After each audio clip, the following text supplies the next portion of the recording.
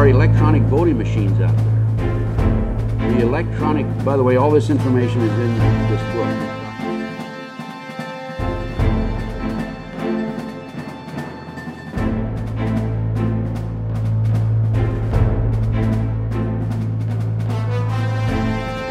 There are electronic voting machines out there.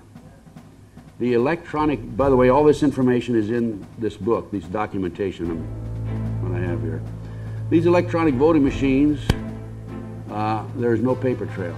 They can be manipulated, they can be fixed. There was a candidate in uh, New Orleans uh, who lost, and she went in the next day with the video camera and uh, with the machines and voted for herself on, a, on the same machine uh, dozens of times, and every third vote, when she voted for herself, went to her opponent. Uh, I don't know about McCain, but John DeCamp in Nebraska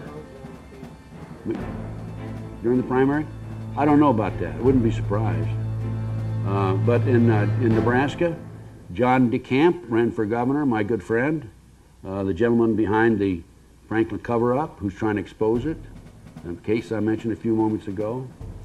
Uh, he was um, out of five candidates in the primary, Republican primary. He was leading a week before by the polls with 36%.